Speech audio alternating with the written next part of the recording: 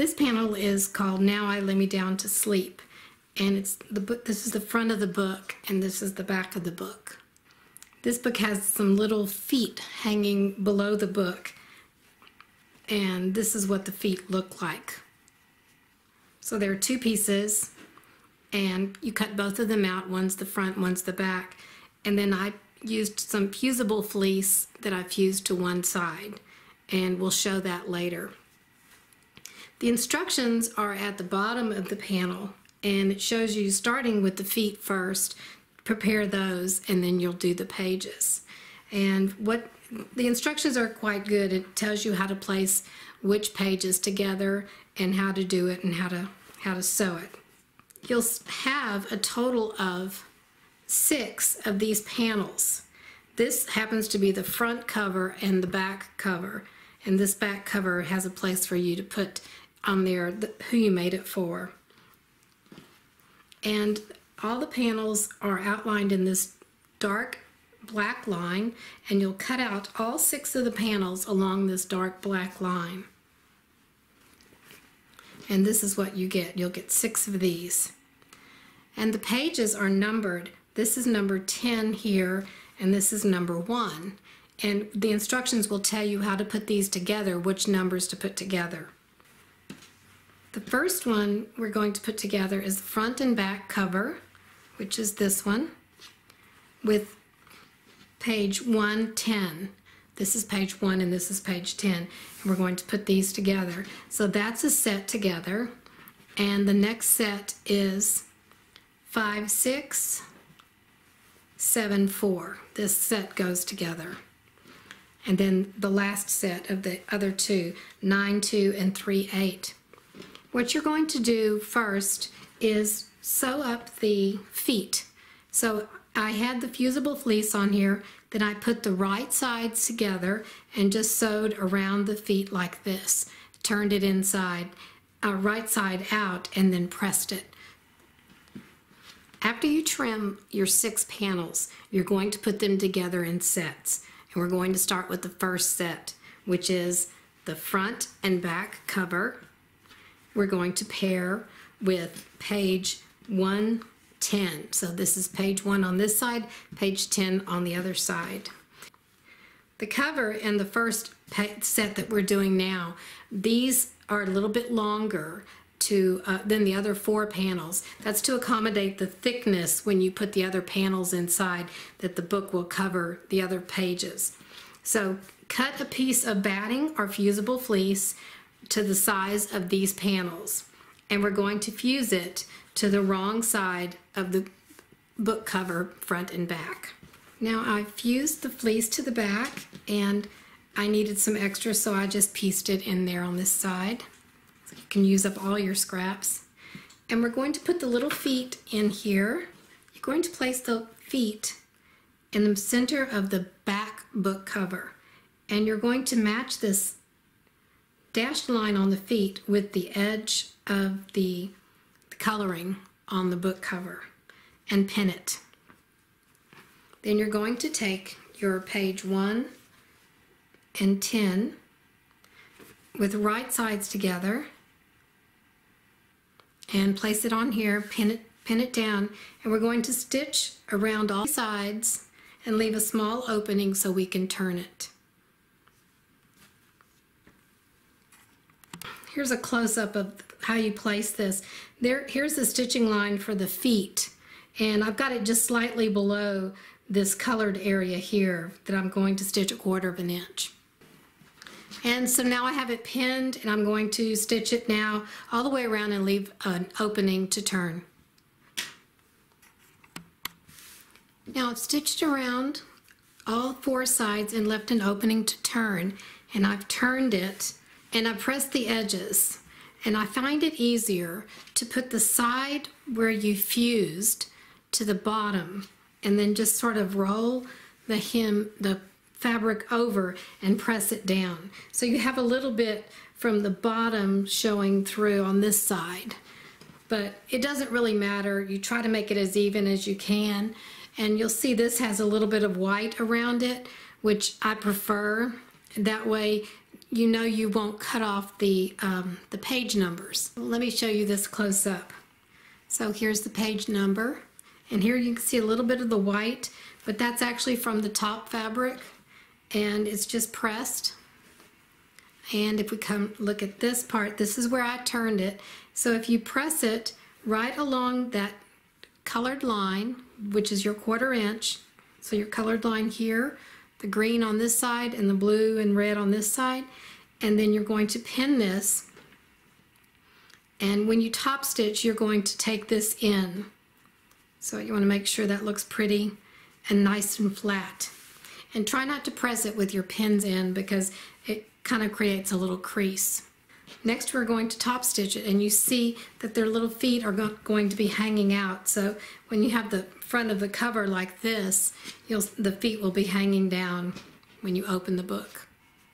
Now here it is top stitched. And I like to use uh, a seam allowance for the top stitching something smaller than a quarter of an inch because I want to make sure that the bottom part where we uh, sewed in the opening that make sure that that catches all right. Now what you're going to do is take your other two sets of panels and prepare them the same way. Put your fleece on, or batting in, put them right sides together, stitch around, leave an opening, turn it, and, and top stitch it.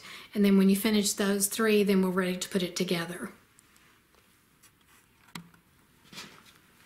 Now I have the front and back cover page, and I have page 2, 3, 8, and 9, 5, 6, 4, and 7. And you're going to lay them down on top of each other and make sure that all the page numbers are correct. So this is the cover, page one, page two, three, four, five, six, seven, eight, nine, ten, and then the back cover.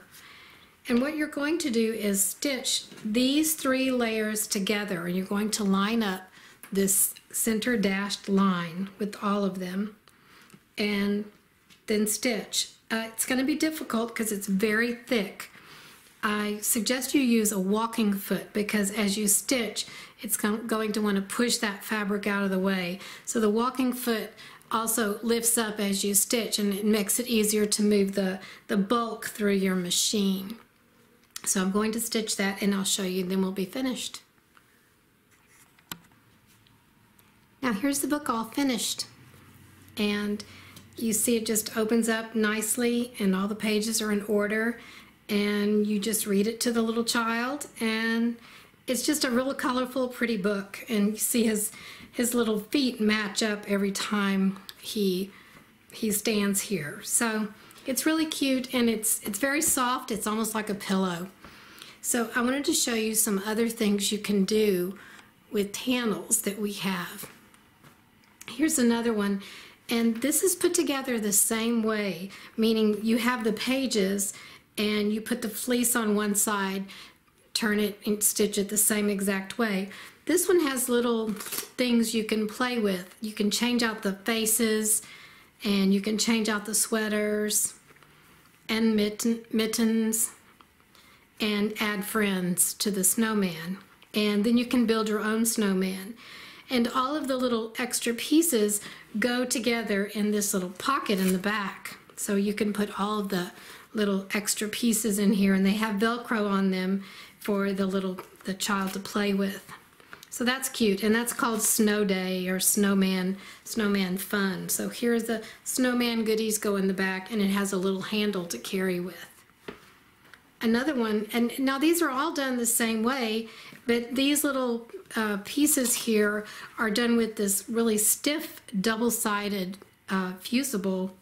Uh, you They're raw edges, so you don't have to worry about finishing the edges and turning anything. And just stitch the, it, this is sew-in Velcro, so that, that's how those are done. And also, there's another book from Safari Life. This is really cute. Also done the same way. Oh, and I wanted to show you something about this one first. In uh, the huggable one, this one, we stacked the three pieces all together and stitch them. And it does get quite bulky. In these two uh, different books here, we stitched, it has the same number of panels, meaning six total uh, sets, or three sets of two panels. But these are, this panel right here is stitched to one side, and you can see this little extra space here. See, there's a little space here where this, this is one panel here, and this is another panel, and you stitch this side first, and then you stitch this one here to this side. So that has less bulk when you try to put it together. This one is done the same way. And this one's really cute. It's like a more activities to do as you're reading. So this says lion, lions like to roar. Then you open it up and he roars. And then the hippos like to yawn and you open it up and he's sleeping. So this is really cute. Giraffes like to eat.